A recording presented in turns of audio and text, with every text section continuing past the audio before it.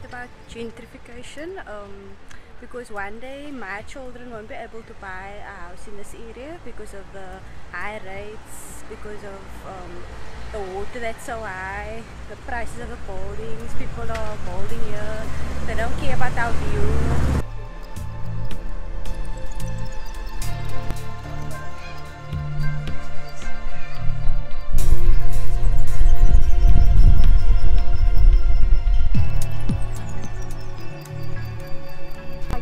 About it. But I said they're going to make supermarket, which is going to be benefit now. You see what I mean? But I think they must put more effort in making the community uh, uh, right about this. What about our youngsters growing up in this area?